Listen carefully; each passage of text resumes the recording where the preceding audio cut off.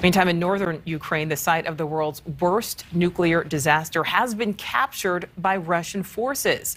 Russian military reportedly assembled in the exclusion zone just north of the Chernobyl power plant before moving in and taking control. Now, back in 1986, a botched safety test there led to clouds of nuclear material being sent all across Europe.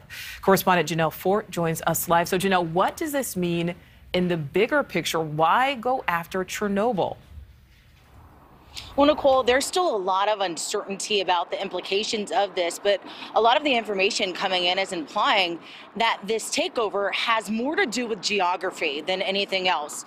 Uh, if you look at a map, you can see that the quickest way, the fastest way to get from Russia to Kyiv is from the north passing through the area known as the Chernobyl exclusion zone. So when you take that into consideration, it appears that this is a strategic move by the Russians and a move that's creating a lot of fear and worry. Russian forces took control of the site after a fierce battle with Ukrainian National Guards earlier today.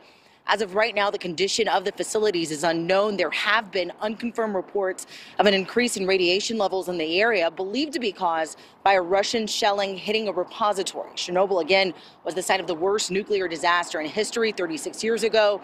There's a thousand square mile zone of mostly an uninhibited forest surrounding it due to radioactivity, and the plant had been in the process of being decommissioned. A few years ago, an enormous shelter called a sarcophagus was built around it to contain the radiation still leaking from it. And nuclear experts say all of that factors into why this takeover is such a grave concern the site itself uh, is vulnerable, clearly.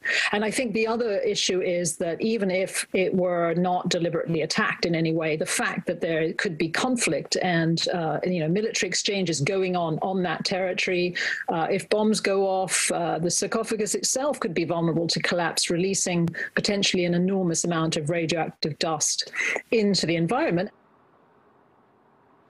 And experts say if that happened, it would be catastrophic not only for Ukraine, but for Russia, the region, and most of Europe, Nichole. Yeah. Thank you for watching. Click the red subscribe button below so you can get more of NewsNation's fact driven, unbiased coverage.